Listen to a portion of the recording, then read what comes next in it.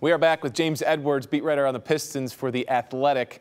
James, you were in the locker room. You were at the Jazz Pistons game. First of all, man, how are you feeling?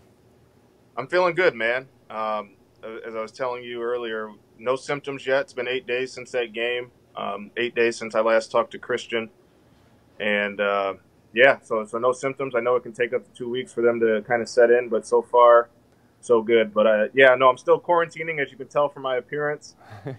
Haven't left too much, but yeah, everything's good over here. The Pistons in basketball, really in the NBA, have been at the at the epicenter of so much of all of this. When yeah. when you were, I don't know where you were, if you were, but when you were seeing the news come down about Rudy Gobert, the Jazz, the quarantining, and everything that night, can you walk me through your thought process, your reaction to everything that was going down in OKC?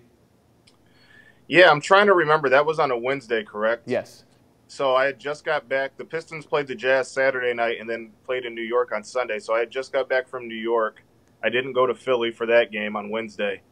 Um, I think I had just landed, uh, not too shortly after, like getting in my car. I saw the text, and yeah, man, like my kind of heart stopped. One, I felt bad for for Rudy, and everybody was still kind of learning what having the virus meant, or at least I was, I should say, and um, so, so that crossed my mind. And then the fact that games were getting stopped, and then eventually the league was going to go to a halt. It was just kind of all overwhelming, and it felt very life or death. And then for some people, it is life or death, and that's why we have to take the precautions we're taking, the precautions the NBA is taking. Uh, but yeah, I, I remember just kind of like a holy blank moment uh, when that when that text or tweet came through. How scared were you personally for, for your own health? Oh, yeah. I mean, I was I was pretty scared. I know.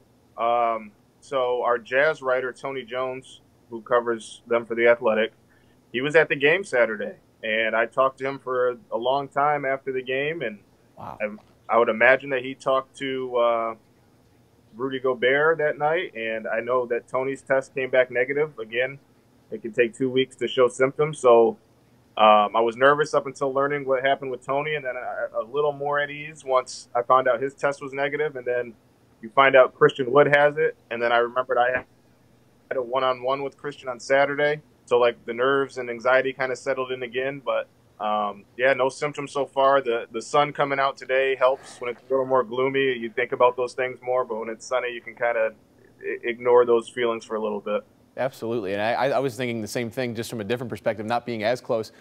I had the option of going to some of these games in the last week and for different reasons within family. I didn't. Uh, so hearing that you were so close to them and you feel confident, I know there are people out there that, that don't know how to feel um, and that basketball is so secondary to all of this. But in covering the game like you do so closely and knowing that it is your professional livelihood, do you think we're going to have an NBA season in the next coming months? Do you think they'll finish this thing out? It's a great question. My gut tells me that with kind of how the calendar goes and the, NBA season, travel, the draft, free agency, all that stuff, it's going to be kind of, it would be very, very difficult to pull off an extended season, which would include the regular season. What I think could happen, I have no sources on this, this is just my gut, that what they'll do is they'll end, they'll cancel the regular season and begin the playoffs when they would normally begin. Um, again, that all is kind of predicated on the status of the country, yeah. um, everybody's health, this virus. Um, obviously, owners would have to agree on that. Um, but th- to me, that makes the most sense in, term of, in terms of the calendar and the timeline. Um, if you put next season into perspective in the off season and things like that. You've been around Blake Griffin a lot in the last uh, couple years. To see him donate $100,000 to help the uh, arena workers didn't surprise me because he's that cool of a dude. Uh, you've gotten to know him and covering him so well. What did you think of, of that act?